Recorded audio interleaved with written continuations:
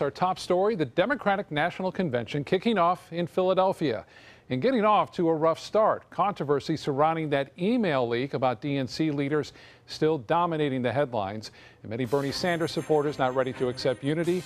Karen Travers has more an hour and we're already seeing some feisty action on the floor here at the convention. Bernie Sanders supporters interrupting and chanting his name at the first mention of Hillary Clinton. And that was during a prayer. Every mention after that, Bernie supporters are booing. Now, Democrats insist that their convention will be more optimistic, more positive than what they say the Republicans offered last week. So far, they haven't been able to avoid the same drama. Here in Philadelphia, Democratic Party unity being put to the test. That was supposed to be outgoing party chair Debbie Wasserman Schultz gaveling in the convention. Instead, she was a late scratch, an effort to avoid the potential reaction from angry Bernie Sanders supporters.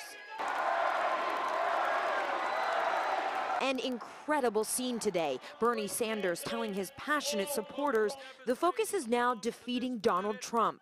But the raucous crowd clearly not liking their options. And we have got to elect Hillary Clinton and Tim Kaine.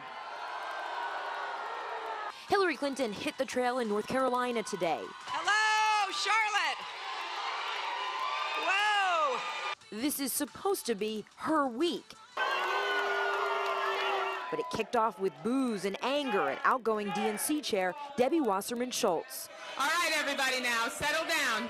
Wasserman Schultz under fire, meeting with delegates from her home state of Florida. The controversy still brewing over those leaked emails showing top Democratic Party officials mocking Bernie Sanders and conspiring to hurt his campaign. She has worked against democracy.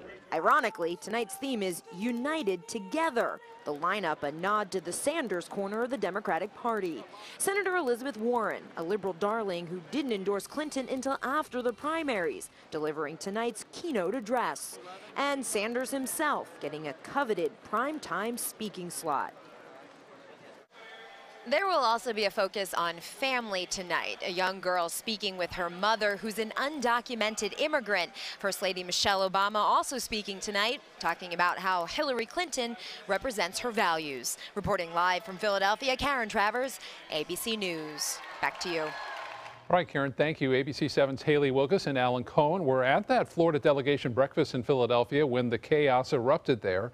Our team coverage of the convention continues with their exclusive footage and reaction to the protests.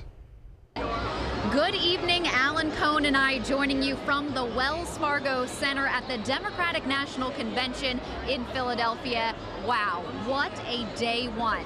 Yesterday, we found out that DNC Chair Debbie Wasserman Schultz, Florida Congresswoman, would not be presiding over the convention in light of the WikiLeaks email scandal. And now, this morning, what a scene at the Florida delegate breakfast. As Wasserman Schultz took the stage, Bernie delegates, Bernie Sanders supporters, stood up yelling shame, shame, shame, holding signs in what appeared to be a coordinated effort.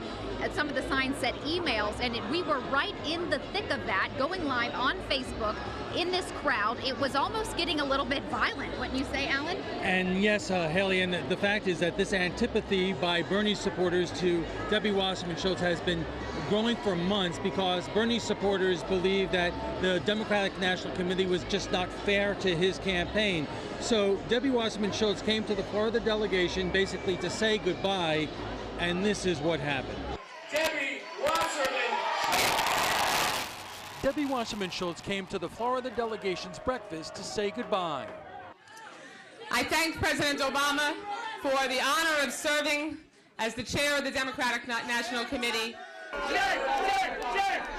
But no one could hear, drowned out by shouting, screaming, chaos, and rancor. Supporters of Bernie Sanders chased her from the stage. Back that way. Senator, how deeply disturbed were you about what you just saw? It, it shows that we've still got work to do to bring people together.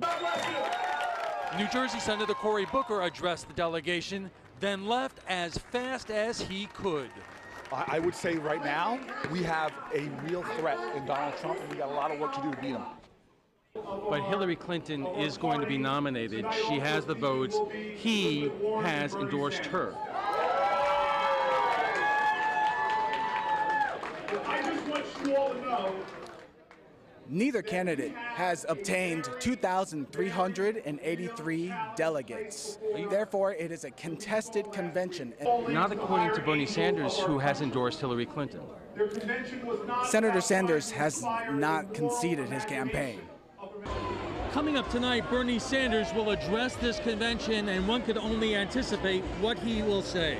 Yes, we are awaiting that. Of course, First Lady Michelle Obama also speaking. She was first anticipated to be the big speaker of the night, but it may be that Bernie Sanders will overshadow her speech. We'll have more on that tonight at 6. Back to you. Thank you both. Be sure to stay with uh, us all week long for the latest updates from the Democratic National Convention. Haley, Alan, and Adam Cellini will be in Philadelphia throughout the week, bringing you the latest developments on air, plus behind the scenes looks and exclusive interviews on our Facebook page.